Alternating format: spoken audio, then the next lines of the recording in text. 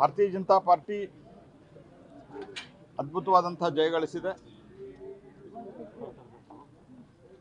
ನಾಲ್ಕು ರಾಜ್ಯಗಳಲ್ಲಿ ಸ್ಪಷ್ಟ ಬಹುಮತದೊಂದಿಗೆ ನಾವು ಸರ್ಕಾರವನ್ನು ರಚಿಸಿದ್ದೇವೆ. ಕಾಂಗ್ರೆಸ್ಸಿಗೆ ನಂಬರೇ ಬಂದಿಲ್ಲ. ಕೂ ಸುಟ್ಟುಕ್ಕಿಂತ ಮೊದಲು ಕುಲಾವಿ ಹೊಲಿಸಿದ್ರಂತೇಳಿ ನಮ್ಮ ಹಳ್ಳಿ ಕಡೆ ಒಂದು ಗಾದಿ ಮಾತದ ಇವ್ರು ಏನೂ ಸಂಬಂಧ ಇಲ್ಲಿ, ಇಲ್ಲಿನ ಅಧ್ಯಕ್ಷರು ಏನು ತೋಳ್ಬಲ ಅಲ್ಲಿ ಗುಂಡಾಗಿರಿ ಮಾಡಕ್ಕೆ ಹೋಗಿದ್ದಾರ, ಕಳಿಸಿದ್ದಾರ, ಏನಂತ ನನಗೆ ಅಂದ್ರೆ ಐ ಡೋಂಟ್ ಅಂಡರ್ಸ್ಟ್ಯಾಂಡ್ ಉತ್ತರ ಕನ್ನಡಕ್ಕೆ ಹದಿಮೂರು ದಿನ ಕಳಿಸಿದ್ರು ವೀಕ್ಷಕರನ್ನ. ಅಂದ್ರೆ ಏನು ಕುಸ್ತಿ ಆಡೋದು ಇರ್ತದ?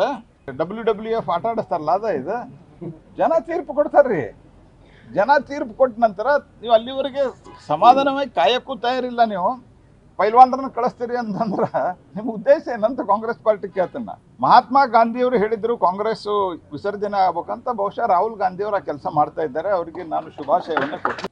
ಮತ್ತು ಭ್ರಷ್ಟಾಚಾರ ಮುಕ್ತವಾದಂಥ ಒಂದು ಆಡಳಿತವನ್ನು ಕೇಂದ್ರ ಮತ್ತು ರಾಜ್ಯ ಏನು ಕೊಟ್ಟಿದೆ? ಉಕ್ರೇನ್ ಮತ್ತು ರಷ್ಯಾದ ಯುದ್ಧದ ಮಧ್ಯದಲ್ಲಿಯೂ ಸಹಿತ ಜಗತ್ತಿನ ಬಹಳಷ್ಟು ದೇಶಗಳು ತಮ್ಮ ನಾಗರಿಕರನ್ನ ಲಿಫ್ಟ್ ಮಾಡಲಿಕ್ಕೆ ಸಾಧ್ಯ ಆಗಲಿಲ್ಲ. ಆದರೆ ಉಕ್ರೇನಿನ ಅಧ್ಯಕ್ಷರಿಗೂ ಮಾತಾಡಿದರು,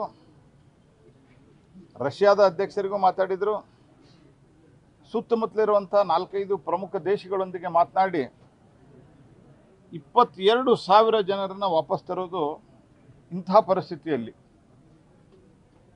ಕಾರ್ಪೆಟ್ ಬಾಂಬಿಂಗ್ ಆಗ್ತಾ ಇರುವಂಥ ಸಂದರ್ಭದಲ್ಲಿ ತಂದಿರುವಂಥದ್ದು ಪ್ರಧಾನಮಂತ್ರಿಗಳ ಕರ್ತೃತ್ವ ಶಕ್ತಿಗೆ ಮತ್ತು ವ್ಯಕ್ತಿತ್ವಕ್ಕೆ ಹಿಡಿದ ಕನ್ನಡಿಯಾಗಿದೆ. ಎಲ್ಲರನ್ನೂ ಜೊತೆಗೂಡಿಸಿಕೊಂಡು ಹೋಗಲಿಕ್ಕೆ ನಮ್ಮ ರಾಷ್ಟ್ರೀಯ ಅಧ್ಯಕ್ಷರಾದಂಥ ಜೆ ಪಿ ನಡ್ಡಾ ಅವರು, ಅಮಿತ್ ಶಾ ಅವರು ಮಾರ್ಗದರ್ಶನ ಇತ್ತು. ಮತ್ತು ಜನರಲ್ಲಿ ವಿಶ್ವಾಸವನ್ನು ತುಂಬುವುದಕ್ಕೆ ಮೋದಿ ನಾಯಕತ್ವ ಇತ್ತು.